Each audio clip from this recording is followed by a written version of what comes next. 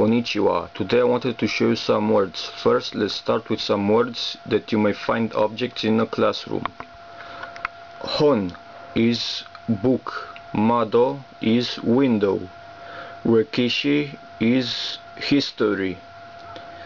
Bungaku is literature. Bunka is culture.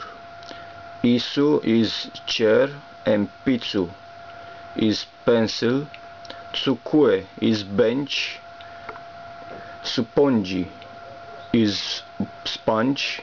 You may see it's suponji and sponge. It's a little bit alike. Tokei is watch. Noto, noto is a notebook. The O has a line over it, which means you have to say the O longer as in noto. Megane is glasses. Kaban is briefcase. Shosetsu, shosetsu is novel.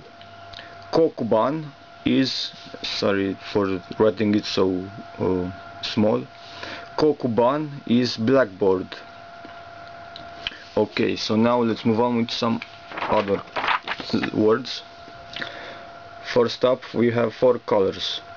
Akai is red, Kuroi is black, Shiroi is white, Aoi is blue. Now, Eki is station, as in subway station, tram station and any other station.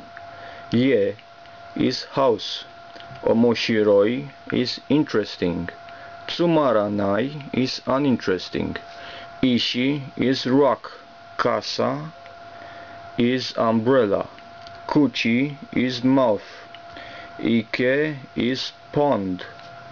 Oishi is tasty. Okashi is cookie. Chisai is small. Oki is big. As you can see it has a line over the O. Hai is yes. Ie means no. Okay, so that's about it for the lesson today. I have I will show some more next time, next lesson, but I didn't have much time now. So until next time, sayonara.